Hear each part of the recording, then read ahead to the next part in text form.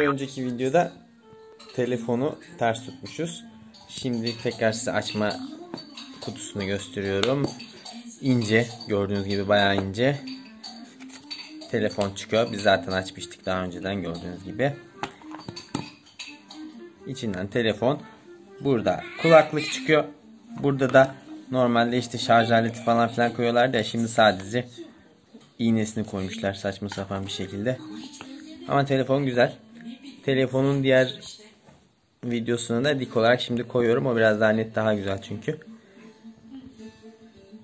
Yeni iPhone 12 Pro Max e, getirdik. Eşimize hediye aldık.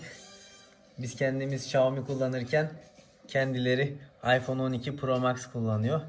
Bundan önce de bir önceki bir sene önce başkasını almıştık. Erkekler böyle, kadınlar böyle her zamanki gibi. Hadi açalım bakalım kutumuzun içinden ne çıkacak. Kutu gördüğünüz gibi çok ince. Çünkü içinde şarj aleti yok.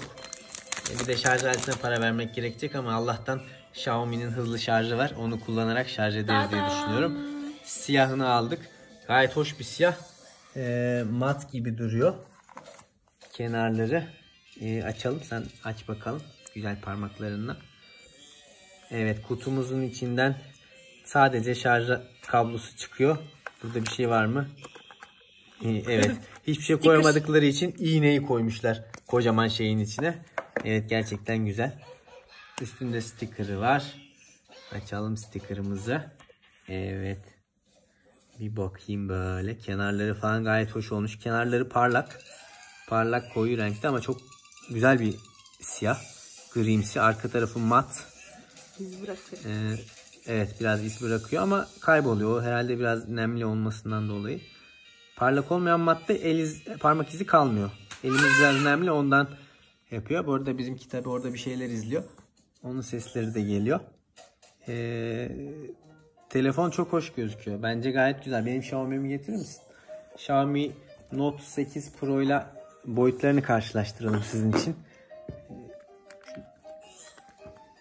Evet. Şimdi Note 8 Pro ile boyutlarını karşılaştırıyoruz. Hemen hemen aynı. Hemen hemen aynı. Evet. 18 bin lira vermenize gerek yok arkadaşlar. Aynı. Yani e, Xiaomi daha ince anladığım kadarıyla. Evet. Sanki bir tık daha ince gibi. Zaten internetten boyutlarına bakarsınız ama tabi ele aldığınız zaman ağırlığı hissi e, iPhone'un neden pahalı olduğunu gösteriyor.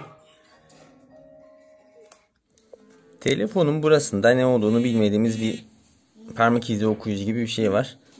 Tabi araştıracağız ama sizin de bilginiz olsun dedim. Ekranı gayet güzel. Diğeri XX, XS Max- Max'a göre daha büyük. Şurada bir hemen şey yapalım. Face ID yapalım. Face ID yapalım. Evet Face ID yaptık açtık. Yani diğer iPhone'dan çok bir farkı yok kullanış olarak. Ekranı bir tık daha büyük dediğim gibi. Ama kameralar ve fotoğraflar sanırım en büyük değişiklik eee, dış görünüşünden sonra kameralar ve fotoğraflarda olmuş. Eee, kamerası zaten bayağı güzel gözüküyor. Hoş duruyor gerçekten. Alt tarafı stereo hoparlörler.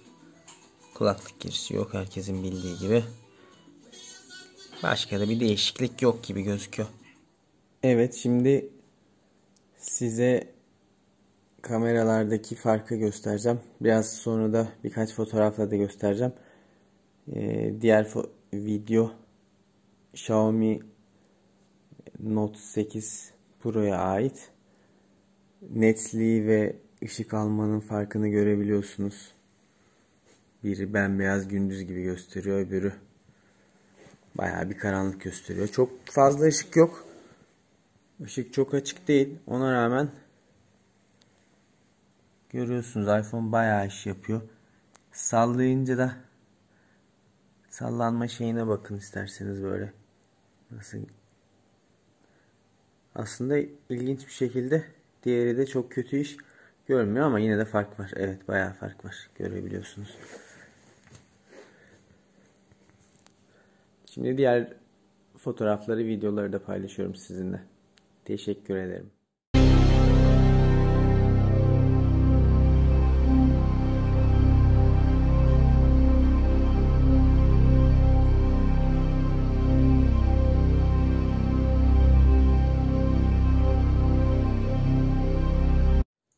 Son olarak e, kendime ait değerlendirmelerimi söyleyeyim. Ben yıllardır Apple kullanan bir adamdım. Her yıl yenisini alırdım. Ama artık en son böyle biraz abarttılar gibi gelmeye başladı bana. İlk aldığımda e, 549 dolardı. Yanlış hatırlamıyorsam. E, o zamanlar gelir seviyemiz de biraz daha yüksekti dolar bazında. E, hem kendime hem eşime rahat rahat alabiliyordum. Ondan sonra işte yine biraz yükselttiler. 699 oldu, 799 oldu. Neyse dedik falan. Sonra bu X ile beraber e, 1000 doların üzerine çıktılar biliyorsunuz. Ve şunu fark ettim. Apple devamlı teknoloji olgunlaşsın, teknoloji olgunlaşsın diye geriden geliyor teknolojide. Yani OLED ekrana falan geçtiler. Samsung, LG 10 yıl önce kullanıyordu bunları. Yani şaka yapar gibi insanlarla dalga geçiyorlar böyle şey yapsınlar diye. Yok efendim işte teknoloji olgunlaşacakmış, her şey düzgün olacakmış, ondan sonra kullanacakmışsın falan filan. Neyse işte teknolojide de geri kaldığını hissettim gerçekten. biliyorsunuz böyle kamerası mamerası falan önünde gidiyordu. Kamera falan da artık eskisi gibi değil onu da biliyorsunuz.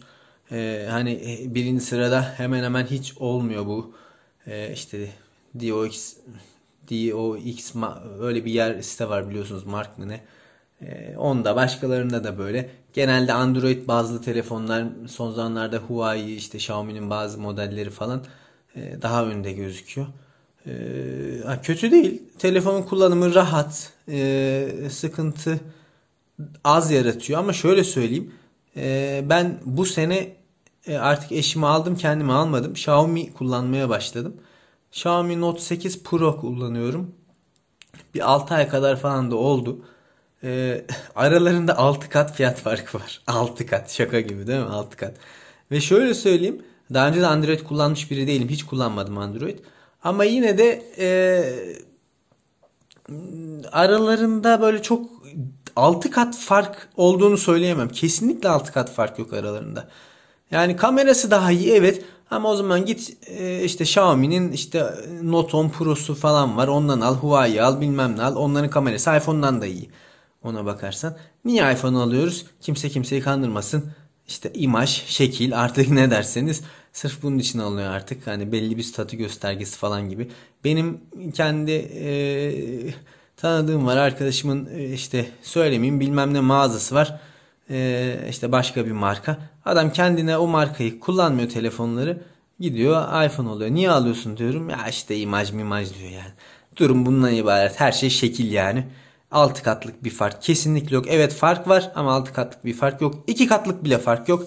O yüzden artık e, takdir sizin. Ben bu arada e, böyle sadece telefon değil kendimi rahatlak rahatlatmak amaçlı böyle ne bileyim evi çekeceğim, hayatımızı çekeceğiz. Biz böyle e, benim eşim yabancı, farklı bir e, hayatımız var. Hem Türkiye'de hem sağa sola gitmek zorunda kalıyoruz böyle. E, hem de bir yandan işte üstteki evde oturuyoruz, devamlı tadilat çıkıyor bilmem ne. Böyle farklı bir hayat paylaşacağım sizinle. E, hiçbir amacım yok, kendimi zaten göstermiyorum. Böyle bir rahatlamak, rahat rahat doya doya konuşmak amacım. Ee, ya işte siz de eğlenirseniz kanala üye olabilirsiniz. Kendinize iyi bakın. Buradan da size manzaramızı göstereyim. Görüşmek üzere.